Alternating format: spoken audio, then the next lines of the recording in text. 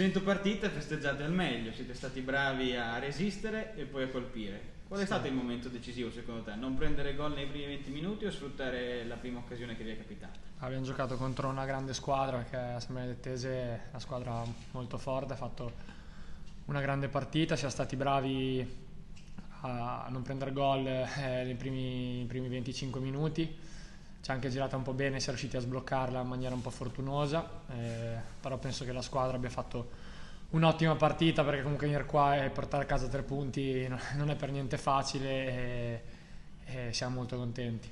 Vi aspettavate di essere a questo punto un mese fa? Eh, no, assolutamente no, però penso che il lavoro quotidiano che stiamo facendo col mister eh, ci sta ripagando alla grande, eh, però è ancora molto lunga, non siamo cioè, il campionato è ancora molto lungo, quindi bisogna continuare a lavorare così e, e non pensare che, che, sia finita perché assolutamente non lo è.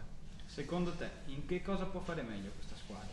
Ma, eh, sicuramente nella gestione della palla oggi abbiamo fatto più fatica delle altre volte perché comunque di fronte avevamo una squadra molto aggressiva che, che sapeva venirci a prendere bene e il mister sicuramente non sarà contento di questo, quindi eh, saper gestire eh, magari la palla in questi momenti contro squadre così forti è fondamentale per riuscire a fare altri risultati, però penso siamo sulla strada giusta, bisogna continuare a lavorare e, e niente. Ultima domanda, che effetto ti fa essere un centenario? Eh, 100 presenze con la squadra sono tante, mi fa un gran piacere perché comunque sono stati tre anni molto intensi e, e spero di continuare insomma, a togliermi delle soddisfazioni con il Molese. Ok, grazie, in bocca al lupo per tutti.